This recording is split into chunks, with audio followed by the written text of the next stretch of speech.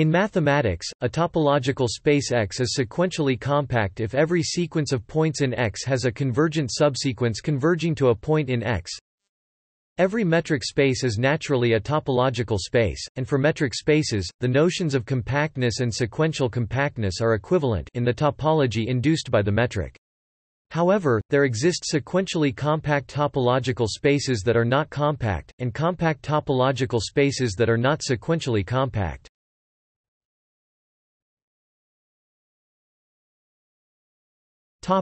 Examples and properties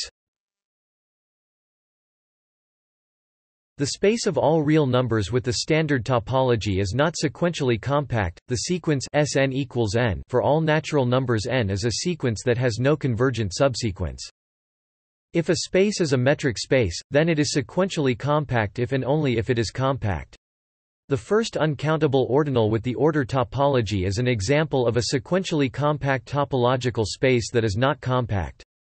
The product of 2 0 equals C. Display style 2 caret aleph underscore 0 equals mathfrak C. Copies of the closed unit interval is an example of a compact space that is not sequentially compact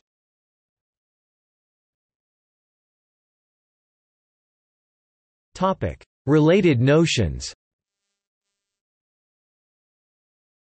A topological space X is said to be limit point compact if every infinite subset of X has a limit point in X, and countably compact if every countable open cover has a finite subcover. In a metric space, the notions of sequential compactness, limit point compactness, countable compactness and compactness are equivalent. In a sequential Hausdorff space sequential compactness is equivalent to countable compactness. There is also a notion of a one-point sequential compactification, the idea is that the non-convergent sequences should all converge to the extra point.